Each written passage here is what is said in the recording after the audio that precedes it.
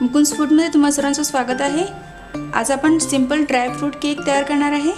त्यासाठी मी इथे काही ड्रायफ्रूट्स घेतलेली आहेत. तर इथे थोडी तुकडे करून घेतलेली बादाम आहेत.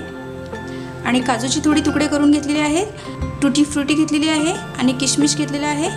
आणि इथे थोडं दूध घेतलेलं आहे. हे दूध कोमट आहे. तर या दुधामध्ये आपण हे ड्रायफ्रूट भिजवून ठेवायचे आहे दहा ते पंधरा मिनटासाठी. तर दूध हे थोडं कोमट आहे. इथे तुम्ही तुमच्या आवडीनुसार ड्रायफ्रूट घेऊ शकता. आणि क्वांटिटीसुद्धा जास्त घेऊ शकता. तर इथे हे एवढे ड्रायफ्रूट्स भिजतील तेवढं मी दूध घेतलेलं आहे. तर यामध्ये आपल्याला ड्रायफ्रूट दहा ते पंधरा मिनटासाठी भिजवायचे आहेत तर आता यामध्ये हे तुकडे केलेले बदाम टाकूया. काजूसुद्धा टाकूया. आणि किशमिश टाकूया. आणि ट्रुटी फ्रुटी हे दुधामध्ये भिजतील एवढं दूध टाकलेलं आहे. तर हे एका साईडला ठेवूया. तर आता आपल्याला शुगर कॅरमल तयार करायचं आहे. तर इथे पातेल्यामध्ये पाणी टाकूया. इथे हाफ कप पाणी घेतलेलं आहे. हे पाणी गरम करायचं आहे. आणि दुसऱ्या साईडला शुगर कॅरमल तयार करायचं आहे. तर हे दुसऱ्या साईडला ठेवूया. आणि एक जाड गुळाचं असं भांडं घेतलेलं आहे. ह्यामध्ये अर्धा कप साखर टाकूया. आणि गॅस सुरू करूया. तर या भांड्यामध्ये साखर टाकून मोठ्या गॅसवरती याला पातळ होईपर्यंत फिरवायचं आहे. तर साखर इथे पातळ व्हायला सुरुवात झालेली आहे. तुम्ही बघू शकता. इथे गॅस मोठाच ठेवलेला आहे आणि याला कंटिन्युअसली फिरवत राहायचं आहे. त्याला दोन ते तीन मिनिटानंतर साखरेचा रंग बदलायला सुरुवात होईल.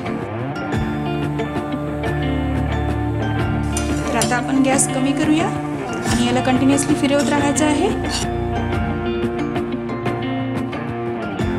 फक्त इथे एवढंच लक्षात ठेवायचं आहे की साखर जळायला नको. त्यामुळे याला कंटिन्युअसली फिरवत राहायचं आहे. ह्यामध्ये पाणी न टाकता साखर पातळ झालेली आहे तुम्ही बघू शकता. आता तीन ते चार सेकंदासाठी याला असंच ठेवूया. ते थोडा गॅस कमी केलेला आहे. साखरेचा रंग बदललेला आहे तुम्ही बघू शकता. तर साखर आता ही अशी फुलायला सुरुवात झालेली आहे. तर आता आपण गॅस बंद करूया. आणि दुसऱ्या साईडला जे पाच ते सात चम्मच पाणी आपण ह्यामध्ये टाकूया. इथे सुरुवातीला थोडं थोडं पाणी टाकूया आणि मिक्स करून घेऊया. इथे सावकाश पाणी टाकायचं आहे. आणि यामध्ये थोडं आणखी पाणी टाकूया.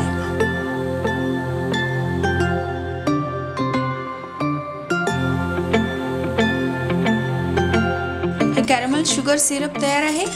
हे सिरप आपल्याला थंड करायचं आहे. त्यासाठी हे काढून घेऊया. त्यासाठी हे या बाउलमध्ये काढून घेऊया. केक बनवण्यासाठी मी इथे एक कुकर घेतलेला आहे. तुम्ही एक जाडबुडाची कढईसुद्धा घेऊ शकता. तर कढईमध्ये आपल्याला मीठ टाकायचं आहे. मी ह्या अगोदर पाच ते सहा वेळा याचा उपयोग केलेला आहे. तर हे मीठ आपण यामध्ये टाकूया.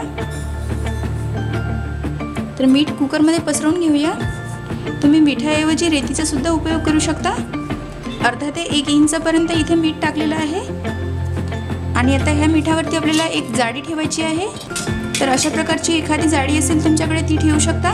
तर यामध्ये मी ही जाळी ठेवत आहे. तर ही जाळी मधोमध ठेवायची आहे. कुकरची रिंग आणि कुकरची शिट्टी काढल्यानंतर हे झाकण ढिलं राहतं. तर ते तसंच ठेवायचं आहे. कुकरचं झाकण लावलेलं आहे. आणि गॅस मिडियम ठेवायचा आहे. पाच ते दहा मिनटासाठी याला प्रीहीट होऊ द्यायचं आहे. आणि आता आपण केक टीन तयार करून घेऊया. मार्केटमधून ही भांडं जेव्हा तुम्ही विकत आणता ते तुम्ही कोणत्याही आकाराचं आणू शकता. पण ते फक्त जाड असायला हवं एवढंच लक्षात ठेवा. कारण जाड जे असतं त्यामध्ये केक जळत नाही. केकचा बेस जो आहे तो छान बनतो. कारण हे जे भांडं आहे ते पातळ असेल. केक तयार झाल्यानंतर जो केक तयार होतो त्याचा बेस असतो तो तो कडक तयार होतो. तर केव्हाही हे केक टीन तुम्ही विकत आणत असाल तर ते जाड घ्या. जसं हे आहे. तर आता ह्याला थोडं तेल लावून घेऊया. आणि मी इथे बटर पेपरचा उपयोग करणार आहे. तेल लावून झालेलं आहे. या बेसमध्ये सुद्धा मी बटर पेपर लावणार आहे. ह्याला बेसला आपण बटर पेपर चिपकवून देऊया तेलाच्या साह्याने. आणि साईडला सुद्धा ह्या केक टीनला बटर पेपर लावणं गरजेचं आहे. कारण केक तयार झाल्यानंतर केकचा जो बेस असतो खालचा जो बेस असतो तो कडक तयार होत नाही. तो नरमच राहतो. त्यामुळे इथे बटर पेपरचा उपयोग करू शकता. नसेल तरीही चालेल. तर याला व्यवस्थिशीर लावून घेऊया. तर इथे मी बटर पेपर लावलेला आहे. तर हे भांडं तयार आहे. तर आपण केकचं बॅटर तयार करून घेऊया. त्यासाठी मी इथे एक मोठं बाऊल घेतलेलं आहे. तीन ते चार टेबल स्पून तेल टाकूया. आणि ह्यामध्ये मी दीड कप मैदा घेणार आहे. त्यासाठी इथे चाळणी घेतलेली आहे. तर इथे मैदा घेतलेला आहे. एक कप आणि हा अर्धा कप असा दीड कप घेतलेला आहे. आणि ह्यामध्ये हाफ कप साखर टाकूया. साखर बारीक करून घेतलेली आहे. आणि ह्यामध्ये एक चिमटी मीठ टाकूया. आणि आता ह्यामध्ये आपण बेकिंग पावडर टाकणार आहे हाफ टीस्पून ही गरजेची आहे. कुकिंग सोडा टाकणार आहे. अगदी थोडा जेवढी बेकिंग पावडर टाकलेली आहे त्यापेक्षा हाफ टाकायचं आहे. आणि इथे एक ते दोन टेबलस्पून कोको पावडर घेणार आहे. आणि हे सर्व तेलामध्ये टाकायचं आहे. तर हे चाळणीने असं चाळून घेऊया. ह्यामध्ये काही गाठी राहायला नको त्यामुळे आपण हे चाळणीमध्ये घेतलेलं आहे सुरुवातीला. आता हे छान मिक्स करून घेऊया. आपल्याला हे आता घट्ट वाटत आहे. तर आता हे दुधामध्ये भिजत ठेवलेले ड्रायफ्रूट टाकूया. आणि मिक्स करून घेऊया. आता हे कॅरमल सिरप टाकायचं आहे.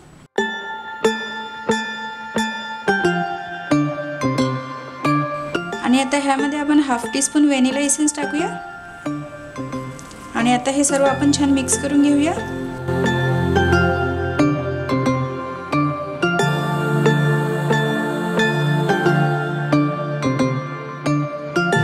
आता आपण ह्यामध्ये व्हाईट व्हिनेगर टाकूया दोन चम्मच.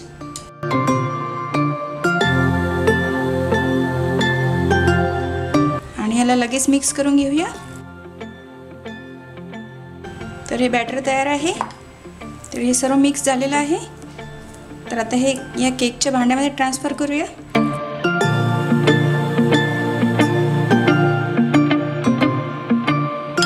तर हे बॅटर सर्व ह्या भांड्यामध्ये टाकलेलं आहे. याला थोडं टॅप करून घेऊया. त्याची लेवल समान होईल. आणि आता ह्यावरती थोडे ड्रायफ्रूट टाकूया. इथे टुटी फ्रुटी घेतलेली आहे. ते काजू लावून घेऊया.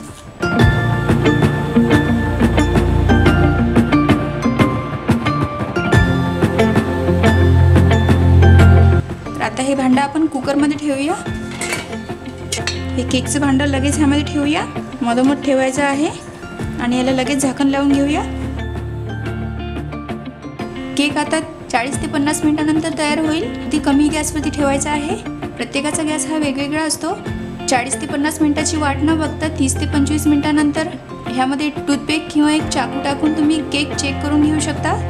जर तो कच्चा पस्तीस मिनिटे झालेली आहेत. आता आपण कुकर उघडून बघूया.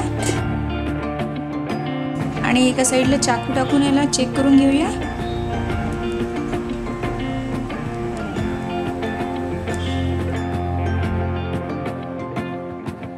मध्ये थोडा कच्चा वाटत आहे. तर याला दहा ते पंधरा मिनिटासाठी पुन्हा झाकण लावूया. आणि आता ह्याला दहा मिनिटानंतर पुन्हा चेक करूया. तर आता दहा मिनिटे झालेली आहेत. गॅस बंद करूयात.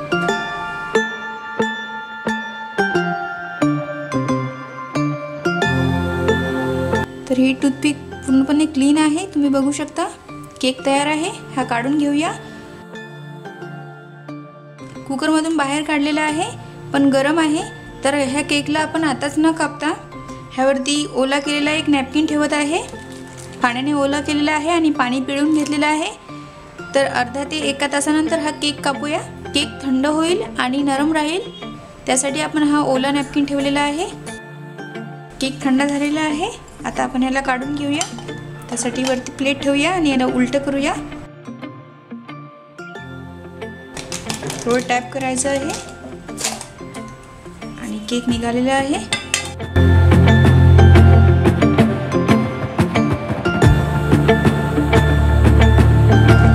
आणि हा बटर पेपर सुद्धा काढून टाकूया.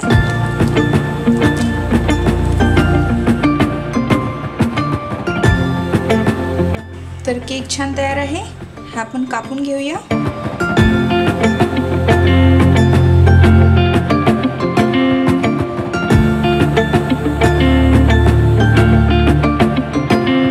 तर असा हा छान केक तयार आहे. तर असा छान केक तुम्ही घरी नक्की करून बघा. आणि आवडल्यास मुकुंद फूड चॅनलला लाईक शेअर आणि सबस्क्राईब करायला विसरू नका. तर पुन्हा भेटूया अशा छान नवीन रेसिपीसोबत